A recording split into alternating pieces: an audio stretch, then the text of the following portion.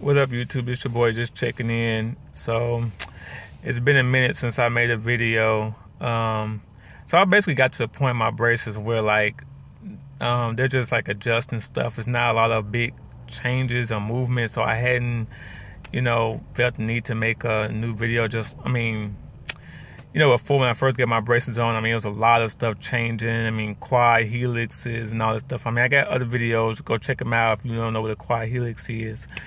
Um, so anyway, I mean, my progress is, you know, still coming along.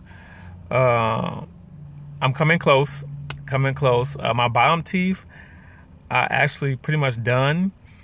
Um, they don't do anything with those. They just I have a wire on them. They haven't changed them out in like I don't know about four or five months now. Um, my top, we're still trying to uh, close some spaces there and get this little tooth to arcuate uh, and to close my two front teeth.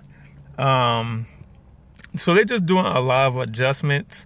Um, so for the most part, once we get those adjustments done, um, I think it'll just be a little bit more fine tuning stuff, and then these bad boys is gonna be ready to go, and I'm gonna be it'll be bittersweet, but I'm gonna be almost ready for them to go too.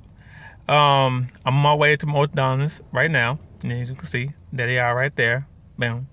Um, I'm on my way in. If something big happens, I'll make another video. If nothing major happens, I'll probably just upload this video later on.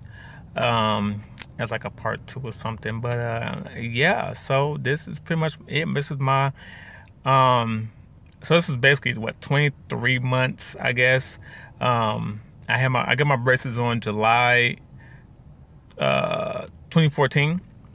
So we're coming up on that two year mark, so it's almost time for the bad boys to go. But yeah, so you know, uh you know, things are shaping up nicely. So anyway, any comments, any advice, drop them down in the comments below. And uh check you later. Peace.